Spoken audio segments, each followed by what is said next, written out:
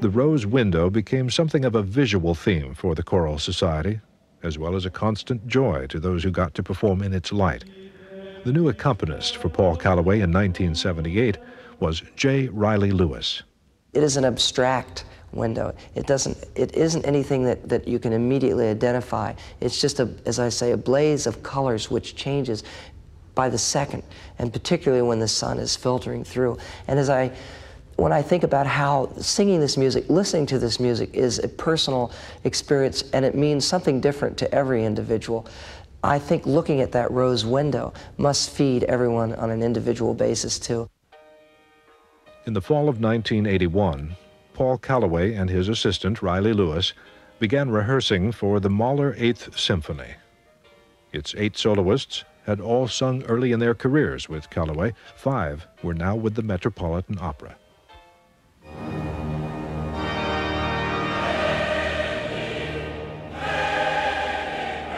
The Eighth Symphony is called the Symphony of a Thousand because that's about how many performers it requires.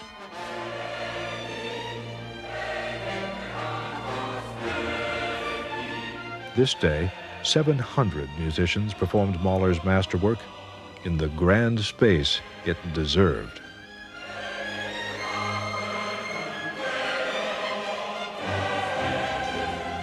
This performance had another significance.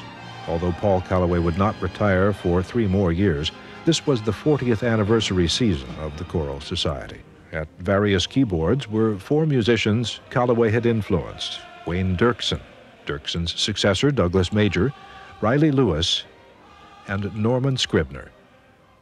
Well, all of us that participated in that 1981 performance, which was the last performance of the uh, Mahler uh, Eighth that uh, Paul did, I believe, uh, did feel uh, a kind of summing up of Paul's career there because so much that had been close to him was gathered in one place at one time.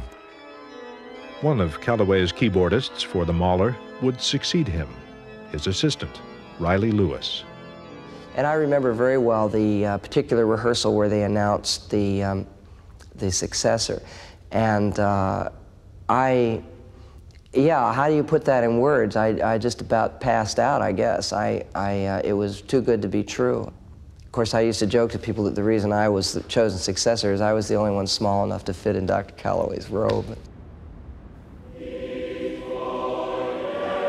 there have been changes in Reilly Lewis's choral society.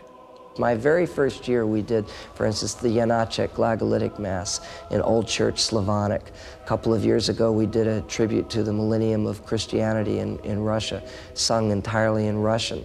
And here was just one other example of how music transcends all of the economic and the political and the, all of the various boundaries that are normally set up.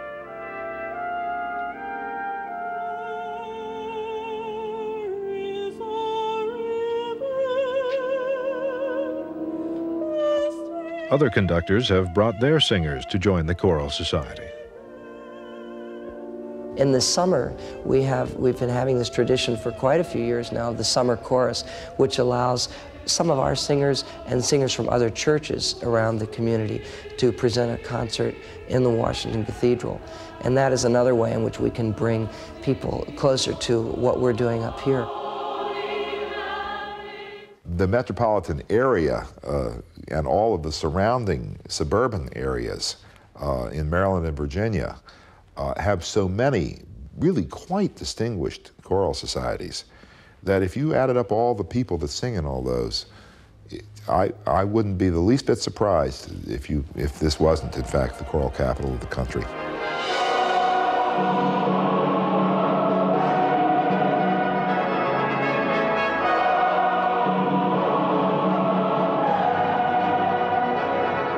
It really is astounding when I think about the commitment level of the people in this chorus. And you could just see in their faces that it's important to them, that they want to be here.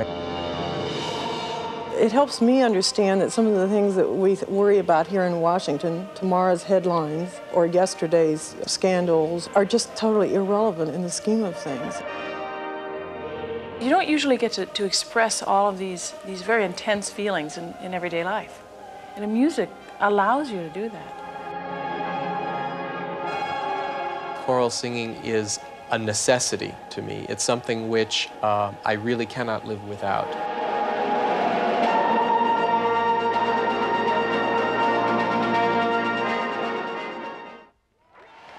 On September 29, 1990, the final stone was placed on the cathedral after 83 years of construction.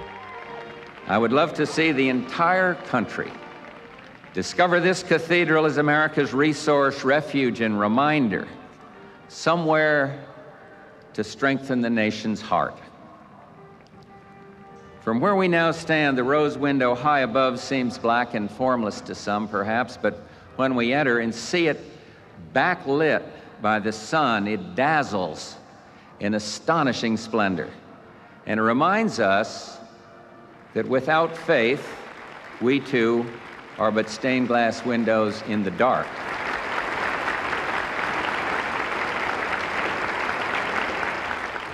One year later, the Cathedral Choral Society opened its 50th anniversary season with the appearance of a guest conductor. Paul Callaway came out of retirement to give the first downbeat of the 50th anniversary celebration of the chorus, which he had founded in 1941.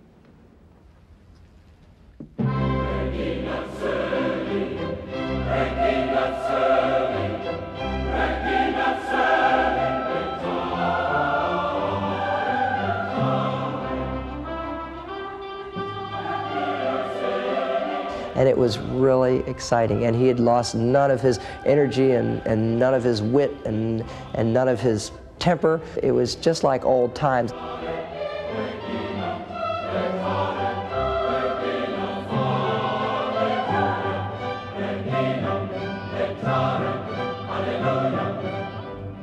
For me personally, it was, uh, it was a very, very moving moment, both in the rehearsals and in the concert. And then to turn around and see the entire cathedral on their feet, acknowledging to this man uh, his wonderful gift to the community. There is a musical vitality in Washington in 1992. The cathedral and the Cathedral Choral Society have contributed to that vitality. With the final stone now in place, the Washington National Cathedral itself has become a sort of cornerstone for a choral city which has come of age.